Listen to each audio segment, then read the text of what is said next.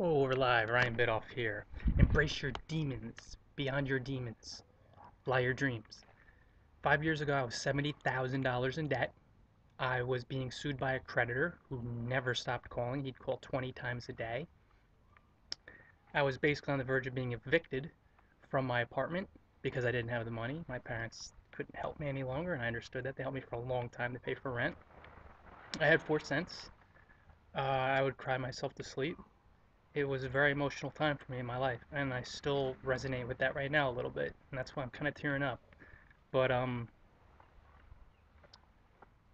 I'm not perfect. My life isn't perfect. I live my dream. I live a very freeing dream, but in the same respect, I still have demons, and they're still chasing me. But they're what pushed me to reach this point in my life. I mean, fucking look at this. Are you kidding me? I only got here because I embrace my demons every day. And you know what? I'm a happy guy, for the most part. Really happy and very high energy. But sometimes people look at Kelly and I and they think that we're lucky. And we are blessed, but they think luck got us here, like some fate. Like I didn't have to deal with the humiliation of having to sleep on her mom's floor for months when I moved into her house when I had no money. And that's the thing, guys. This is the most heartfelt fucking video I'll ever create because the past few days have been kind of difficult for me because I'm just bringing up stuff along the way. Sometimes you see this image of someone who's always happy, and 99% of the time I am. I'm high energy and I'm grateful. But these are the type of demons that come up occasionally, and the stuff that I had to embrace in the past to become the creative dynamo. So many people say, How do you push yourself?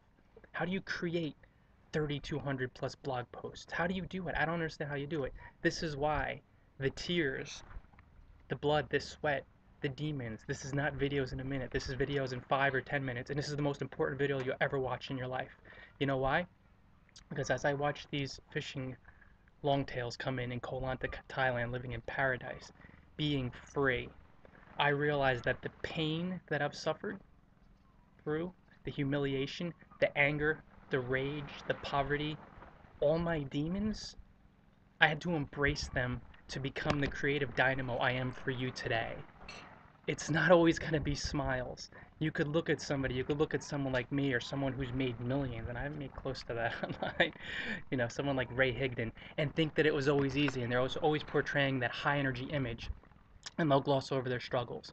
But I'll never do that not because I'm still holding on to that person, and maybe there's some part of me that does hold on to that person, but because I've been there, and I want you to realize that. And of course, I'm as free as I've ever been, and things are as good as they've ever been. I've made as much money. I was just checking my bank account now, and I'm like stunned from where I was at. I'm so grateful. But you have to embrace your demons. You have to be so angry that you want to punch people in the face or jump off a building. And I've had both of those feelings go through me in my life you know, wanting to kill people because I was so angry. Just really deep seated rage. Sometimes you have to reach that point to become a creative genius. And I'm not a creative genius, but I create a shitload of content. And I know that. And I drive myself more than most people on the internet. And I know that. And I know how prolific I am. And I know how blessed I am. And I only have that type of drive because I have hugged my pain and suffering and mental issues and all the problems I had to go through from growing up through, at times, a pretty rough childhood.